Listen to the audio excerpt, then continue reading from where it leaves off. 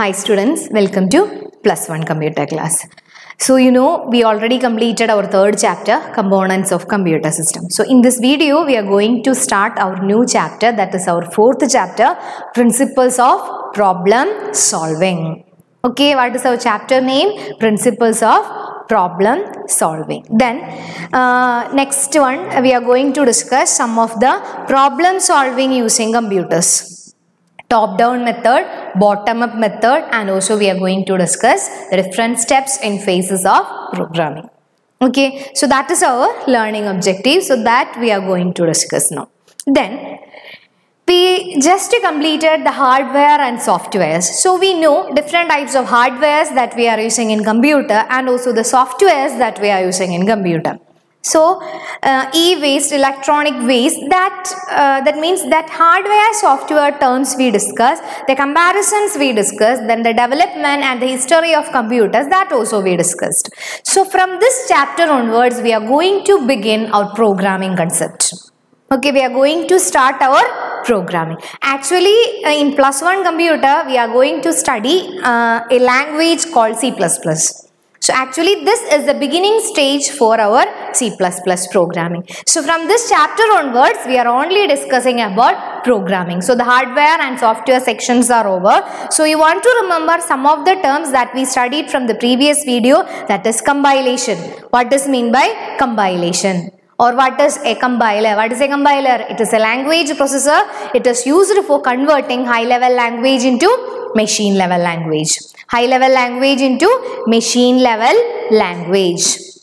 Okay so that term you want to remember because in this chapter onwards we will use the term compilation or compiler because it is normally used in programming.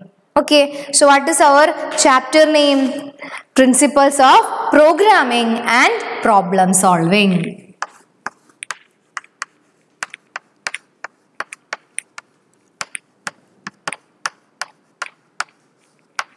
principles of programming and problem solving. That is our chapter name. Principles of programming and problem solving. Principles of programming means we will discuss some of the guidelines relating to programming. Okay we are not starting the program steps. We are just discussing about the design and the rules for programming. And after that we will discuss problem solving. How we are solving a problem with the help of algorithms and flowcharts Okay, so what is our chapter name? Phases, Principles of Programming and Problem Solving. Then, our first topic, nowadays we are using computers for solving a problem through uh, programs, not C++, Java we can use, C language we can use. So, using programming language, we can create programs for solving a particular problem. So our first topic was problem solving using computer. Problem solving using computers. How we can solve a problem using computer or how we are solving a problem using computer means definitely you want to write programs. So with the help of programs we are solving a particular problem uh, smaller programs we are discussing first then after that it will leads to functional program and also array program. Then problem solving. There are two types of approaches were present in problem solving using computer. First one was top down approach. Top down approach.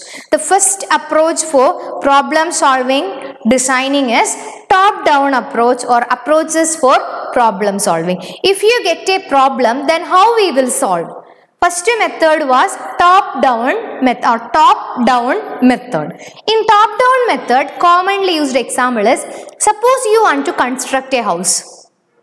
Then first thing is you want to draw the plan or you want to draw a uh, picture for our home. How it is look like and how will be the interiors and how the door like where is the original door's position. All these you want to identify. So first one is if we will go to any of the civil engineer and they will draw a plan for our house. When they are drawing the plan first they will draw the roof. Okay, when we are drawing the picture of a house, we will start with the roof. Top we will draw first. Then after that, wall and then do. That means a smaller picture. That picture is already available in your textbook. First we will draw the roof. Then walls, then doors. Okay, like that. This kind of approach is known as top-down approach. We are starting from the top. Actually, the last procedure was roof.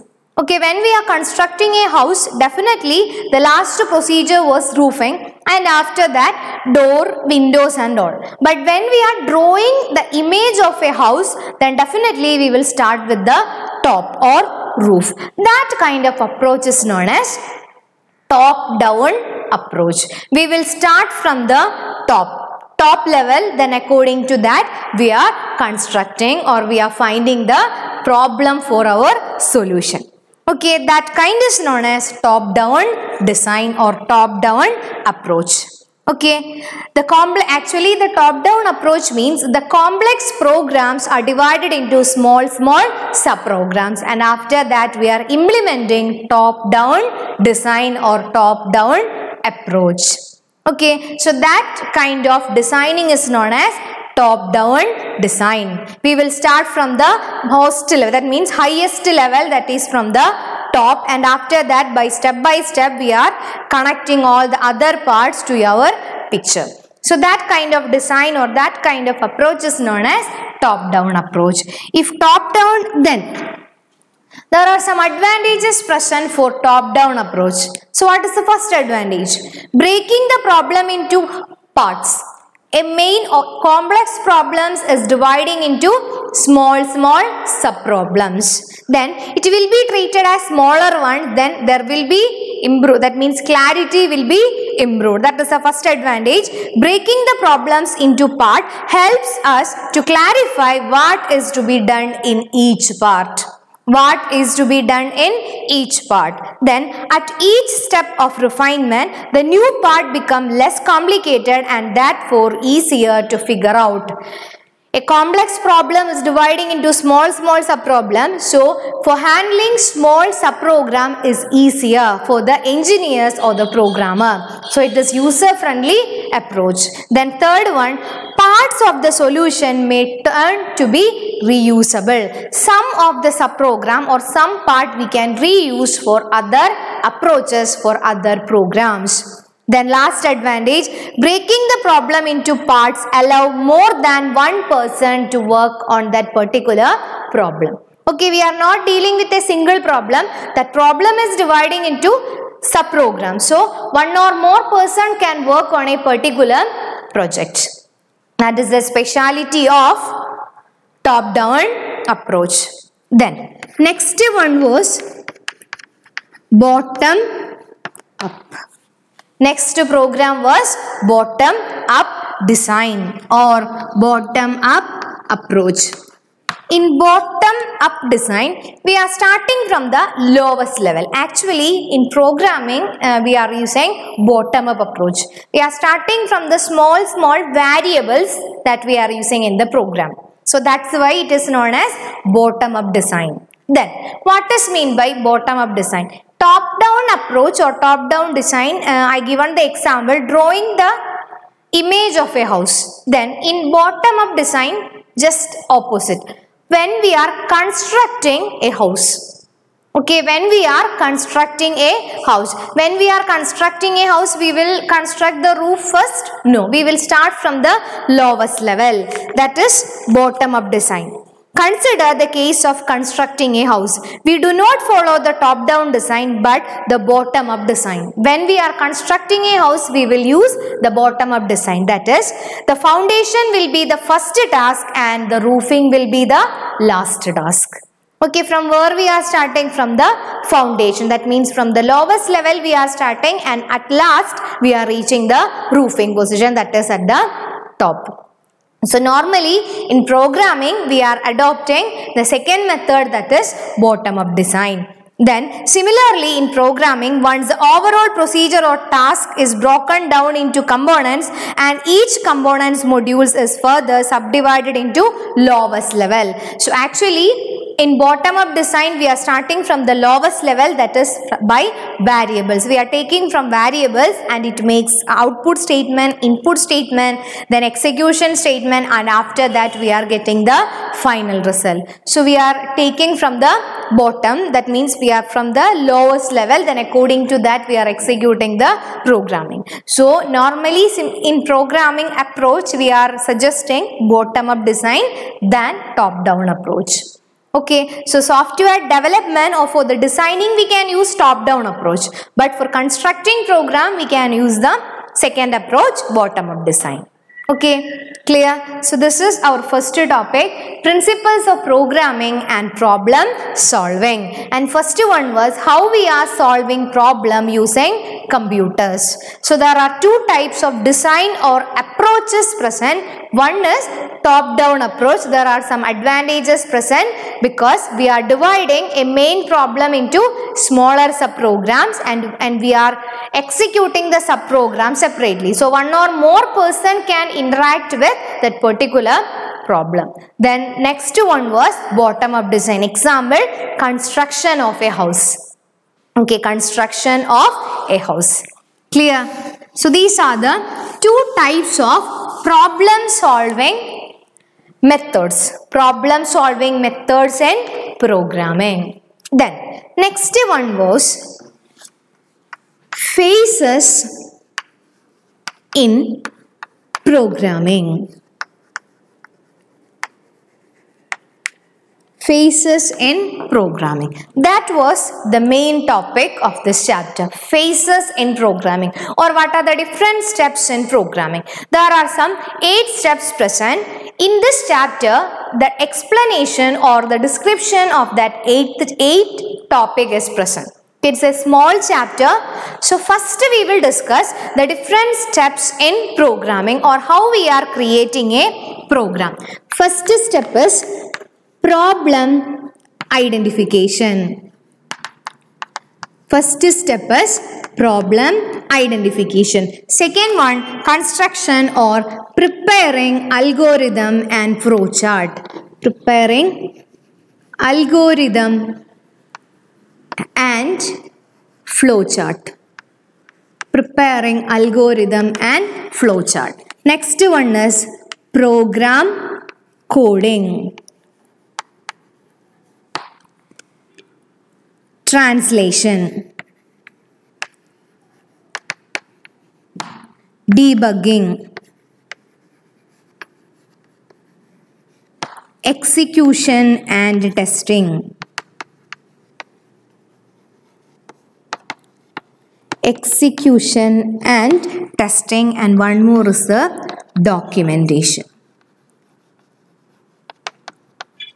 So these are the different phases of programming. Order is very very important. When you get a question, list the different phases in programming. You want to follow the order.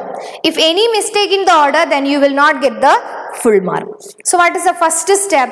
Problem identification. When we are getting a problem, first thing is you want to identify the problem. Number of inputs, number of output, then what will be the answer, data type of answer. All that you want to identify. That is our first step, problem identification. You want to identify. If you identify the problem correctly, then you can easily write a suitable program for that particular problem. Second one, so you know, when you want to construct a house, first we will draw the design or first we will uh, draw uh, that particular design uh, for that plan for that house. Okay, that design is must. Before constructing the house, we require a design. In program also, before program coding, we require a design or a layout or alignment for the particular problem solving. For that we are using algorithm and flowchart. Pictorial representation is flowchart and step by step explanation is algorithm that we will discuss later.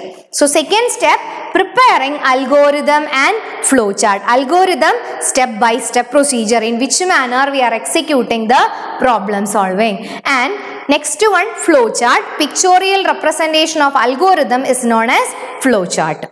Then third one is program coding. This step from third step onwards we are beginning program creation. Okay, if you draw the algorithm and flowchart neatly, then we can easily convert that algorithm and flowchart into program. So from third step onwards, we are starting program statements. Then once the program is created, then it require a language processor. That means program is in high level language format. So we require a translator for converting high level language into machine level language. For that purpose we are using translator.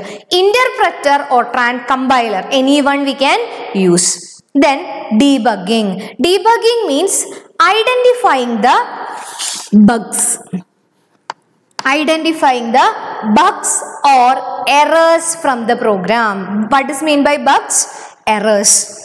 Identifying and removing errors from the program is known as debugging or correcting errors is known as debugging. The definition of debugging is finding and removing bugs from our program.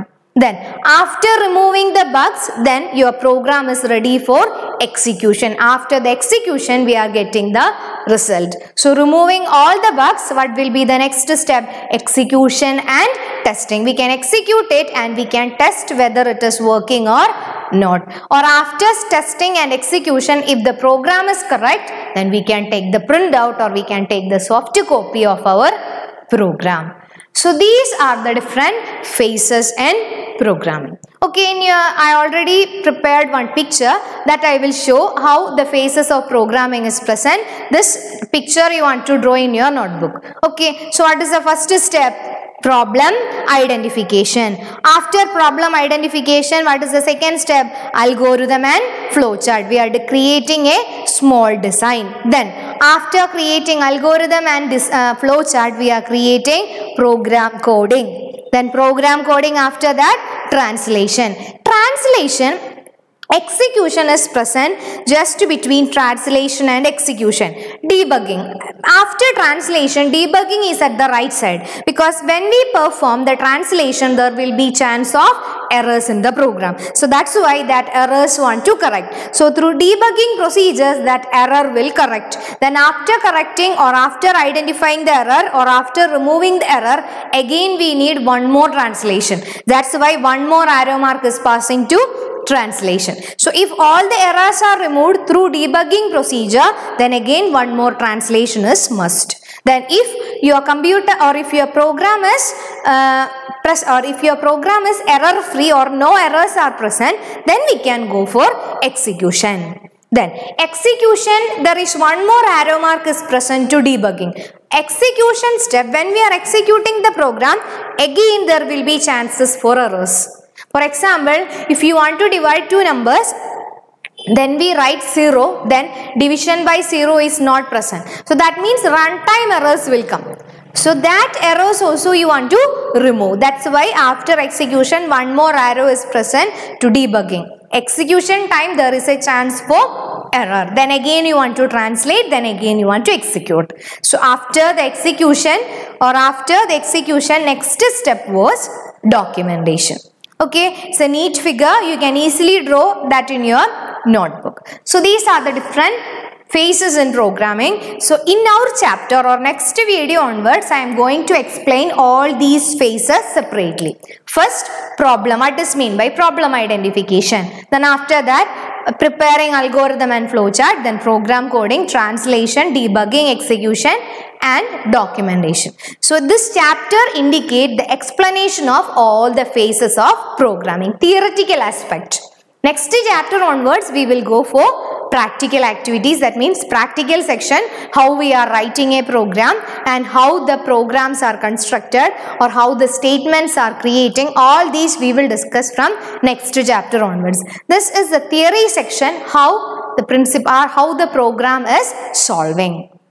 Okay, hope you understood. So again we will revise the topics that we studied. What is problem solving using computer? How we are solving problems using computer? Two approaches, top down approach and bottom up approach. Then second section was phases in programming. What are the different steps in programming? What is the first step? Problem identification. When you get a problem or at any of the question, first thing is you want to identify the problem correctly. Then after identifying the problem, second step is preparing algorithm and flowchart. Algorithm means you want to write the procedure in step by step manner. Then pictorial representation of algorithm is known as flowchart. Just we are drawing a design. Then after drawing the design, next step is program coding. After the program coding, next section was translation. We are converting program into machine level language. Then debugging, removing the errors. Then execution and testing. After that, documentation. So these are the different phases of programming. Then you want to write one question in your notebook that is list the different phases of programming. You want to list all the phases of programming along with that picture also you want to draw. Okay, I've already shown that picture. That picture also you want to draw in your notebook. Explanation is not required only that order and also name of the uh, phases is must. Okay then the next chap next video onwards we will start with the phases and programming. Okay hope you understood. The remaining section we will discuss in the next video. Okay then thank you